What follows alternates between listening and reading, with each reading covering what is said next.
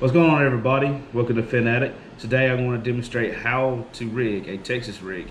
As you see down here below, I already have one rigged.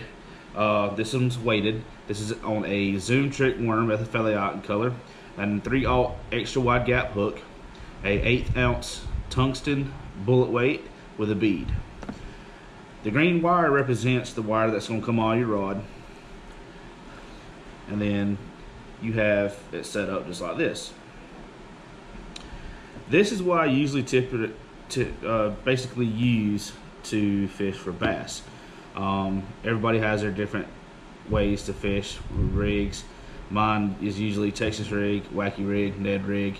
Um, anything that's easy and simple that I can just hurry up and tie on and throw back out in the water so I don't have to worry about missing a catch.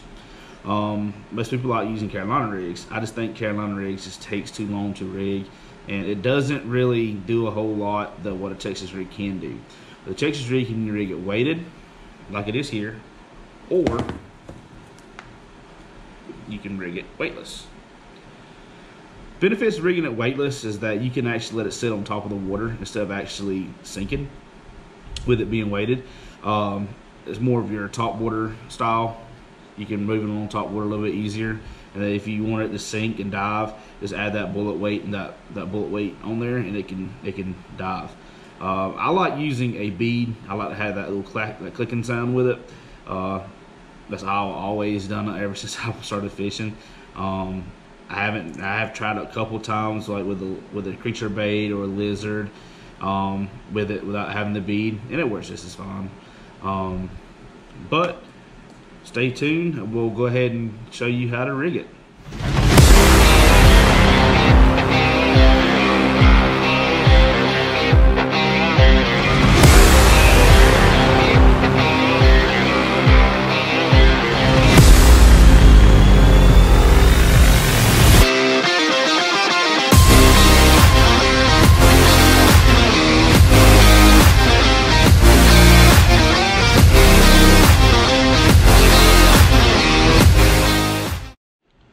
Well, there you go, everybody. That's how you rig a Texas rig with a trick worm, uh, weighted or weightless. Uh, you don't. You just have to remove the bullet weight or the bead if you want it to be weightless. Um, feel free to like this video. Go back and see my other videos I have posted on my channel. Uh, subscribe. Um, stay tuned for more videos.